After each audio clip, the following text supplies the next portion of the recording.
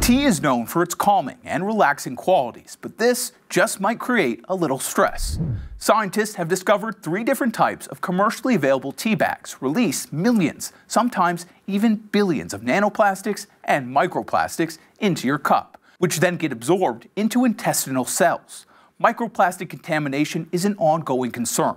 These plastics have been found in hearts, testicles, and this year, scientists found a quote, scary amount in brain tissue.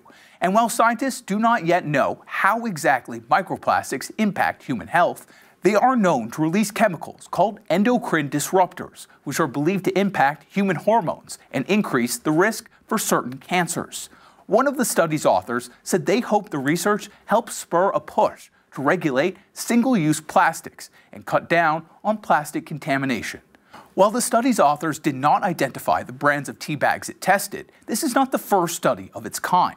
The digital platform I'm Plastic Free, which helps people find plastic free household products, compiled a list of plastic free tea brands across the world. You can find a link to that right now inside this story on the Straight Arrow News app. So if you haven't already, download it today.